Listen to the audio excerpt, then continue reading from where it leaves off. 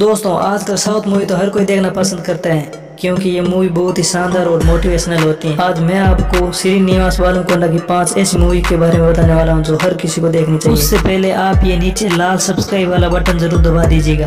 तो देखिए number five पर है क्वाचम जो कि यूट्यूब पर इंस्पेक्टर विजय के नाम से अवेलेबल है, जो कि 2018 में रिलीज़ हुई। नंबर फोर पर है स्पीडियो नोडू जो कि 2016 में रिलीज़ हुई। और इस लिस्ट में नंबर थ्री पर है सीताराम ये मूवी 2019 में रिलीज़ हुई। इसमें बालम कोंडा और काजल अग्रवाल नज़र आए थे।